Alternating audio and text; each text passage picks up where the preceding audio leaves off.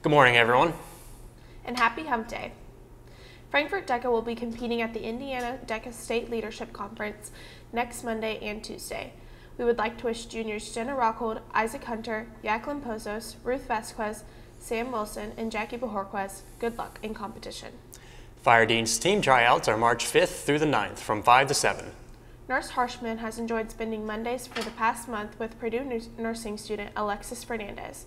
She has been able to interact with hot dog students and learn about public health nursing. In light of the violence in Florida, FHS continues to increase our safety precautions with the See Something, Say Something posters around the school to remind students that if you see something, to say something.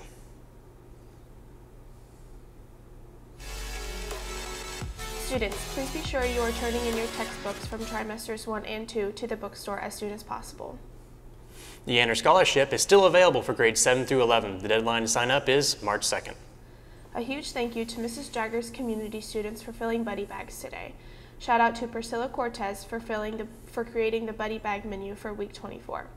DECA After Dark is tonight from 5.30 to 8. We'll send you now to Colton Crum for the special excerpt. HDTV, we'll be adding a new section with engagement from students at FHS. Dallas will sit and answer questions sent in on our Snapchat account, HDTV Network. You can also ask questions to the Geo Story, hashtag AskDallas. Your snap may be featured on the announcements.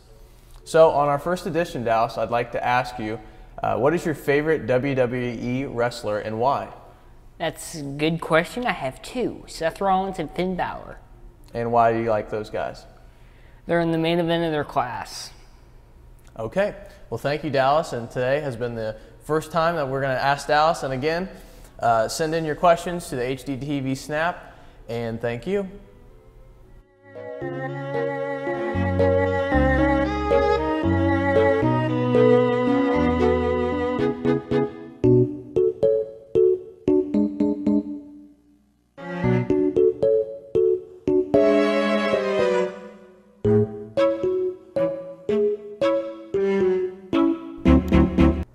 Good morning. Uh, right now it is 48 degrees and it's going to rise to 51 degrees for lunch.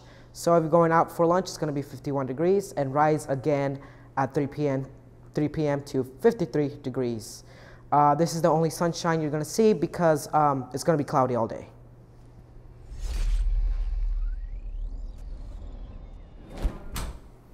The boys basketball season unfortunately came to an end last night in the first round of the sectional game against Northwestern, falling 42 to 52. The team struggled to consistently score, putting up only five points in the second quarter and seven in the third.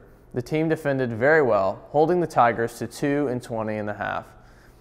They held star guard Tyson Parker to 18 points, seven below his average. The team graduates four, graduates four seniors, Malik King, Alex Siegfried, Noah Debris, and Damon Moore. The Hot Dogs finished the season with a 9 and 15 record. Thank you.